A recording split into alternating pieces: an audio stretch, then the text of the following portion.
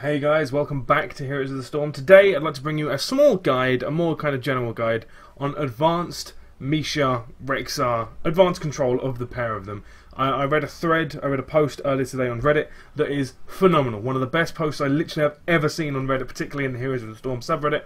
And it basically talks you through some advanced techniques, I'll link it in the description, some advanced techniques for controlling Misha when you're controlling Rexxar. And what I'd like to do is I'd like to take some of the condense that down, take some of the more drastic points, and put them in a video format so you can really see what, what I'm doing and then how to recreate these yourself. So, to give you the general gist of it, Misha works on direct clicks for movement and attacking, whereas Rexxar works more uh, kind of independently when you blur the line between the two. What I mean by that is, is, is if Misha's on follow mode and you click somewhere, Misha will move with you because she'll move to that location, fine. But if you click somewhere and then you attack click somewhere, um, Misha will sometimes go somewhere else. Obviously, I'm not doing it too hard now, so you're not going to get the full effect of it at the moment. But basically, that's the gist of it. If you if you tell Rexxar to attack and move, and Misha just to move, then they will end up splitting, and you can get really complicated, really nice kind of uh, movements between the two, and you can and you can you can get a very micro intensive game if you get really on top of this, and if you and if you try out, if you really get hold of this and really do it very well. So the first thing I want to talk about is separating Rexxar and Misha always, even from, from nothing. And this one's very simple. This one is, is if you right click, Misha will go somewhere, and then if you attack move somewhere else, Rexxar will go somewhere else. The leashing mechanic still works. I, apparently, from what I can see, it works when Misha stops when Misha's move command is finished and Rexxar's attack, and then when that happens, if Rexxar's specific distance away, Misha will run to Rexxar So that one, just one, what, quick, quick one once more. You right click to where you want Misha to go, and then you attack, which is A and left click, to the position you want Rexxar to go in, and then you can move the two independently. Of course, this will position them independently, as you can see here, they stay independently. But if you move, if you attack move somewhere, it, things get very strange. Like, you can attack move to places, and then Misha moves to where Rexxar was, unless she hits Rexxar, and then things get a little bit weird. But basically, if you want to position them separately, you want to right click where Misha wants to go, and then attack move left click where you want Rexxar to go. But remember, the leashing distance is still the same. So it's a very nice little little little cool little thing that you can do. You can just attack move somewhere, move, and then attack move, and then you can have the two separate. Like that. I'm trying to get it so that Misha stays somewhere. There you go, perfect. It, it, can be a little bit fiddly sometimes like that, like I didn't move yet, all of a sudden she decided to leash. It's a little bit strange, a little bit buggy, but it does work for, the, for some time, and of course you don't really want Misha chilling away from Rexxar for far too long. The next one is a little bit more uh, kind of micro they get more micro that, that's probably the simplest one the next one is to control misha whether she runs behind or in front of you and the distance she does run behind or in front of you so if you right click to move, Misha stays incredibly close to you, as you can see. Misha just sticks on you the whole time. She never really goes away from you unless you start running for a really long time, and then Misha will get ahead of you some somewhat, but she'll never really go too far away. So if you right click on the ground, she'll move close to you, and then, excuse me, will end up being a little bit further in front of you. But if you attack move in that direction, so if you right click, Misha will eventually get there. But if you attack move in this direction, things get a little bit strange. Now it's kind of hard to, to kind of put out, but you saw it there. Basically, if you attack move somewhere, Misha will try and follow you, but she'll run behind you, as you can see here. This does get a little bit weird because this is primarily used for when running away from situations, and of course, if you attack move while running away, you could just stop and start attacking, which is obviously pretty bad. But if you are literally like in somewhere and you know Misha's going to be annoying and just going to start body blocking you, if you attack move, uh, it's very strange because as you saw there, I right clicked before I attack move, and as a result, Misha run there at full speed. But if you just just attack move somewhere, uh, Misha will follow you just slightly behind. But again, be very careful when using this because if something does go in attack range, you will stop and attack it. This is mercenaries, minions, or enemy here as that works. So this one's a little bit a little bit tricky, um, but it's really kind of cool if you do it. So this idea is that you run away and command Misha to turn around and then attack things, and it uses the same principle as the one uh, as the one we used before. There's two ways of doing this. One of them is significantly cleaner than the other. Uh, the first one is, of course, if you move and then quickly right click and then quickly left click, Misha will start running away. But that is, of course, uh, fairly micro intensive, and it does mean Rexxar stops and runs back for a little bit. But the tricky one is now I've got the web page up, so I'm going to so I'm going to read this out word for word. It is move Rexxar and Misha by right clicking, running away from the enemy.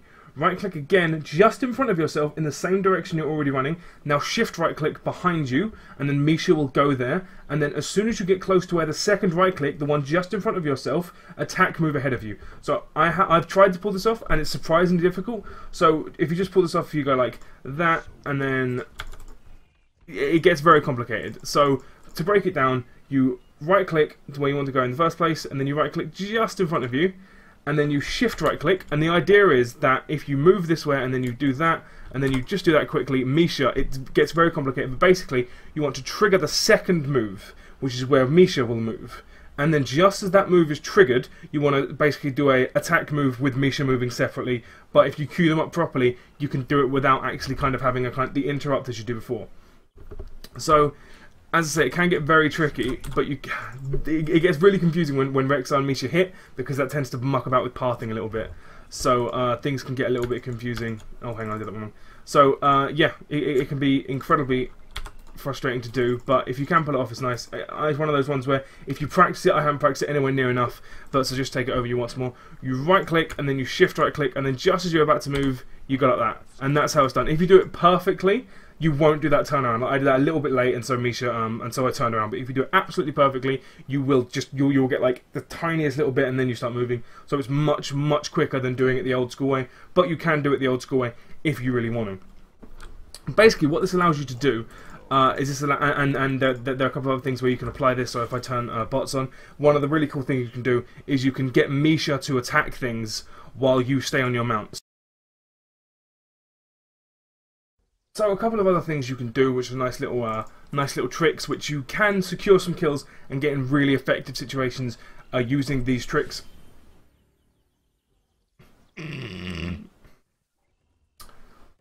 So using these tricks, you can really get effective situations and a lot more complicated situations that you otherwise couldn't get to.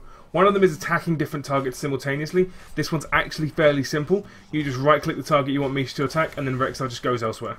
You can just sit back here while Misha does all the hard work because you can toggle the states between attack and follow uh, depending on what um, you don't, you don't need to get off your mount, so you, so you can just literally sit at the back here and let Misha do all the work, and you can cast Mend Pet if you want, and Misha can just clear a wave while, while you're sitting at the back here, like quite a fair distance away. Quite a nice little thing. So, a couple of things again I have I really have tried to do, and I think I pulled it off once uh, in, in, a versus AI game, and none in the real life game. Is pulling off like a pincer move, and it, it's basically using the, the similar technique that I you about before, where you, where you separate the two of them like that, and then one of them. It, it works best when uh, Misha is in a bush because quite often at the time, quite often people will see Misha and think Rexxar must be nearby. They won't see Rexxar and think, oh, Misha must be nearby. They, they might think that Misha's dead or whatever, but they won't think that she's nearby. Sorry but this, I don't know what's going on with the frames, but whatever, hopefully it doesn't happen too much. So basically the idea is that if you position Misha somewhere and then you go somewhere else, you're both in a bush or something, again, like, you'll get a better feel for how for how far away Misha can go from Rexxar before the uh, before leashing starts to happen. Uh, you can do this on Dragon Knight and stuff like that. If you get really close in the bushes, you can somehow position the two, and then when someone tries to get the shrine, uh, you can just pincer on them and do really, really nice stuff. All kinds of really cool stuff. So that's a really, really good example of it. But yeah, uh, you you can do crazy things with like queuing up abilities so that they both split and then come back in together. Like uh, one of the things that I saw someone someone do, which was really cool, was like that, that, and then like you did that, and then like Misha does that, and then she kind of came in. But of course, I haven't got enough space in the lane. But if you like, if you queue up commands for when you do something, um, Misha kind of does the weird thing. So if you do that, you can get Misha to run somewhere and then run in at an angle. So if so, say say you're getting the Dragon Knight and say this is the entrance for the Dragon Knight, you can run around and then send Misha up and like to do this kind of thing. And then just as she gets somewhere, you can move her. You can move Rexxar in with an attack move. So if Misha goes here, and then Rexxar goes like over here. They'll both split up like that, and then if you attack the same target, you can both come in from two different angles and really converge on it. Incredibly good for setting off body blocking and stuff like that. You can really get some crazy, crazy moves. Uh, so just try them out. So what I would want, what, what, I want people to take away from this is there's a lot more advanced techniques than the techniques that you're kind of aware of. There's really crazy things you can do with it. Experiment with attack moving. Attack, so basically to summarize it, attack moving will only move Rexxar unless, what if Misha has another command. Um, Misha's commands are the, the, obvious commands like attack and move, and they will take priority for Misha over Rexxar's commands. So, for instance, that's basically summed up in moving and attack moving will split the two. Um, there's a couple of little things that happen weirdly. Like if you uh, are doing something where you do something like that and then you swap positions. So you see Misha should be over here, but she meets Rexxar and then it kind of screws up her pathing a little bit and she just does some weird stuff for a few steps. So if you're doing that and you bump into each other, uh, pathing can get a little bit strange. Just, just, just, just be, aware of that. Don't try and do too much complicated things when Misha and Rexxar are going to butt heads or any other body part. Just keep it, keep it nice and keep it nice control. And if you queue up abilities, uh, or if you queue up moves rather, when you go to initiate them, like so if you queue up uh, that one, and then so that means Misha's going to run over there, and then I can send Rexxar to do his own other thing. Uh, she ran into a structure there, like if you hit structures again, anything with a health bar basically, uh, it can screw up what Misha does.